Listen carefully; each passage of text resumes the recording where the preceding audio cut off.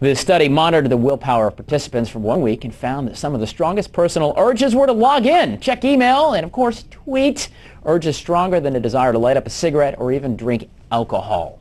Now, Alexis, I don't know about you, but I think uh, I think that might be the case for our, our, friend JP over here. You think we need to have an intervention?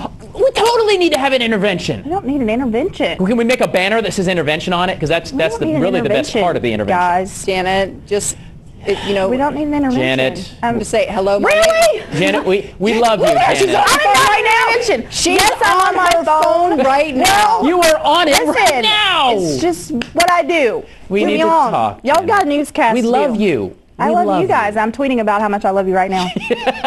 yep, I am.